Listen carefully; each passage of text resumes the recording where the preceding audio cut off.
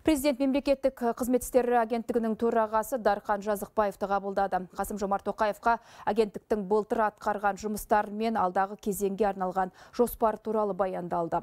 Мемлекеттік қызметке кірудегі артық кедергілерді жою, одан шығу тәртібін жеңілдету үшін жүргізілген жұмыстар туралы мәлімет берілді.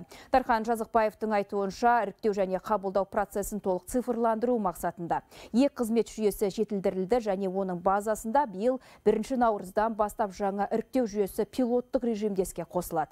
Бұдан бөлек Қасым Жомарт Тоқаевқа президенттік жастар кадр резервіне кезекті іріктеу өткізуге дайындық жұмыстарының басталғаны жөнінде мәлімет берілді. Сонымен өңірлік жастар кадр резервтерін құру жоспарда бар. Кездесу соңында президент мемлекеттік аппараттың сервистік моделін қалыптастыру және мемлекеттік қызмет одан әрі жетілдіру жұмыстарын жүйелі түрде жалғастыруды тапсырды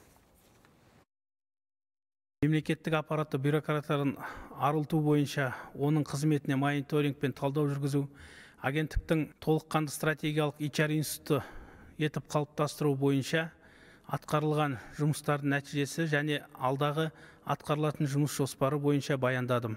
Мемлекет басшысы мемлекеттік қызметті әрі қарай жетілдіру бойынша және жүйелі түрде жұмыстар жүргізу бойынша нақты тапсырмалар берді.